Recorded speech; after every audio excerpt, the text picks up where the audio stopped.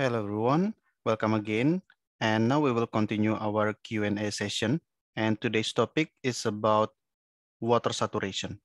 Okay, previously we have talked about average porosity where we did thickness weighted averaging for porosity. Now we will do more or less the same thing, but for water saturation. So this is our case.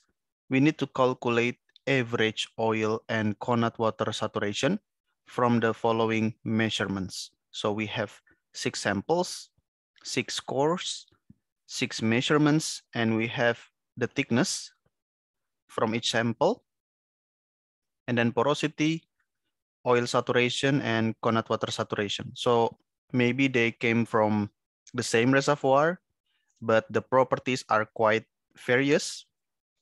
Okay, so we have porosity, we have different oil saturation, different connate water saturation, and, and now we need to do averaging, okay? And how we do that? Here. First, for averaging, we should use this calculation, this approach. So it's not thickness weighted averaging, but it is porosity thickness weighted averaging. So you see here, the thickness should be multiplied by the porosity first. So it's not only thickness multiplied by this parameter, like what we have for porosity, right? Porosity multiplied by thickness directly. Here, the saturation needs to be multiplied by not only thickness, but also with porosity. So it's porosity thickness weighted average. Okay, so let's do that. It's actually quite easy. I will copy this one here. And then let's make new columns.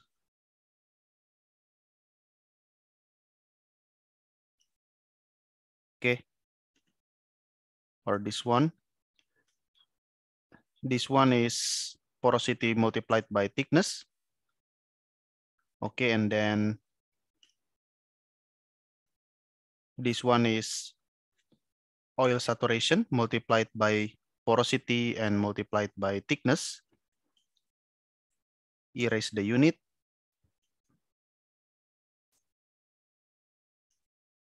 I will use star. Okay, and then the next column is for connate water saturation. SWC. Okay, so let's type in. It's 1, 1.5, 1, 2, 2.1, and 1.1. Okay, six measurements. 1, 1.5, 1, 2, 2.1, and 1.1. And then the porosity, 10, 12, 11, 0 0.13. Or it should be in fraction, okay?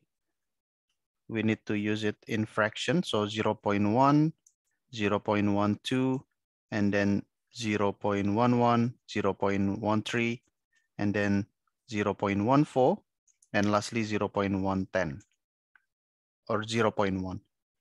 And then we have also the data for oil saturation, 0 0.75, 0 0.77,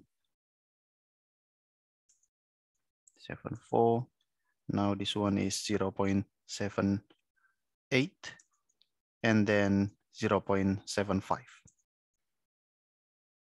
Okay, and then lastly, 0 point, you can use it, this simple approach, assuming there is no gas.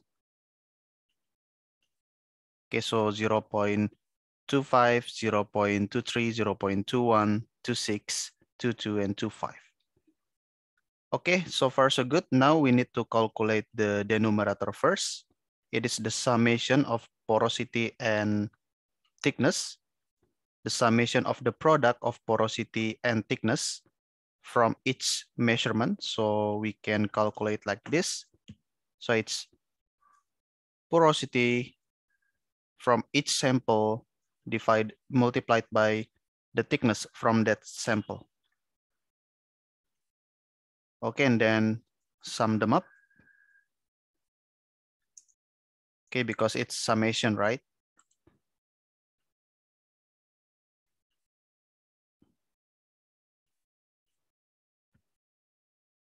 Okay, so it's like this and very easy. We can just multiply oil saturation with this product.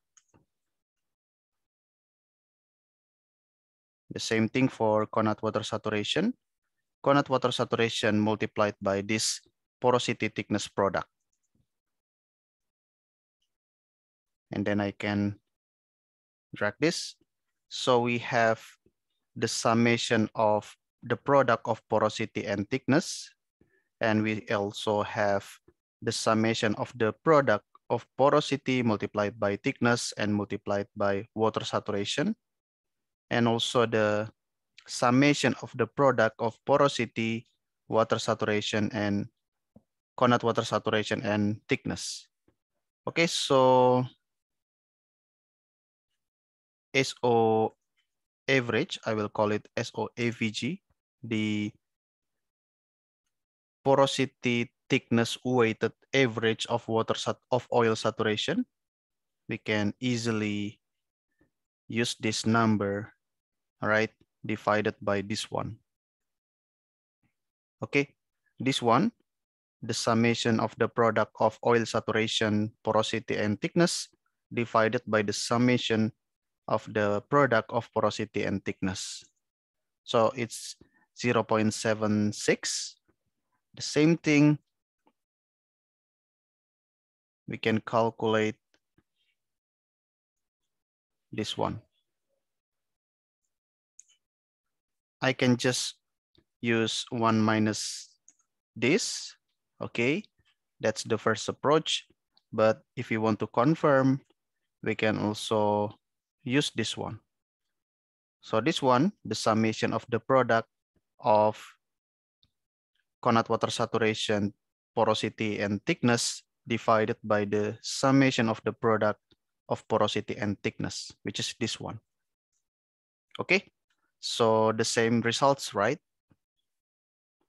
And yeah, this is the result.